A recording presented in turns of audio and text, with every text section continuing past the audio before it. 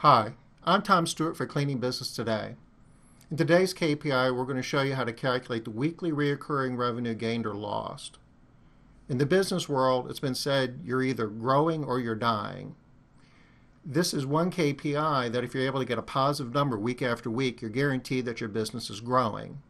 Let me use an Excel spreadsheet to demonstrate how we do the calculation.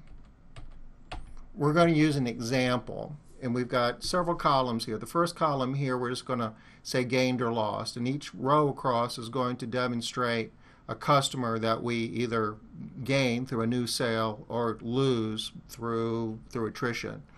Um, the only customers that we're going to be adding here are ones that are regular customers, either weekly, biweekly, or monthly.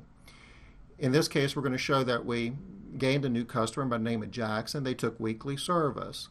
The number of times per week that a weekly customer gets cleaned is one. They get cleaned every week.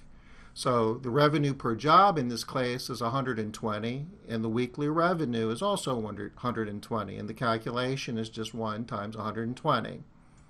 Pretty simple. So let's go ahead and look at another example of that week and pretend this is all in the same week, and we sold a second customer by the name of Jones. But in this time, they took service on a biweekly basis. The number of times on a weekly basis that a biweekly gets cleaned is a half. You clean them every other week.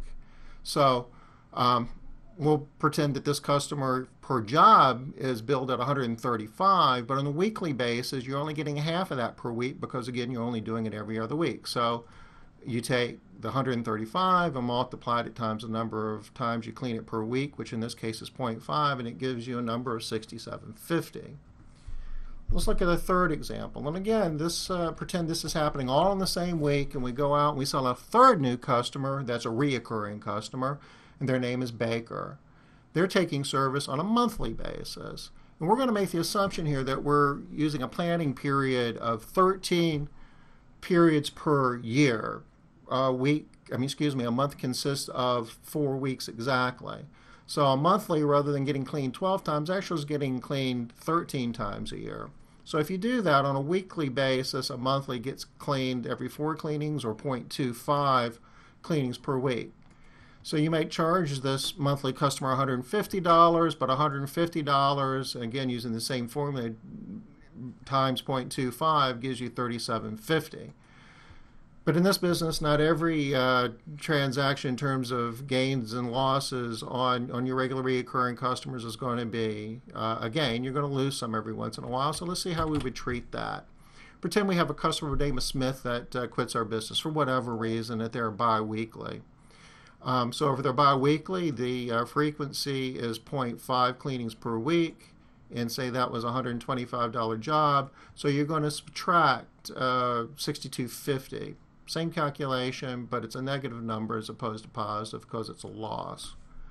So if I want to know my revenue gained or lost per week, I just add up every number in this column. And if you do that, your answer is going to be $162.50. So what does this mean?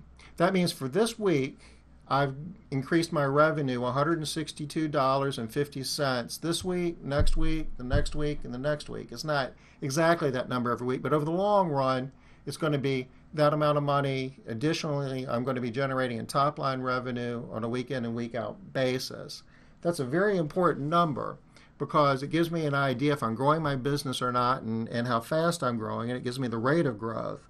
It uh, gives me some idea if I'm going to be able to meet my sales goals and if I need to adjust my marketing strategy or my sales process. It also gives me the opportunity to uh, predict my future uh, revenue.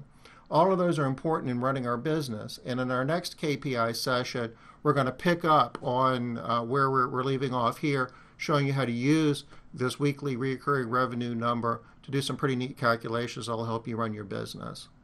Thank you for watching today's KPI and thank you for supporting Cleaning Business Today.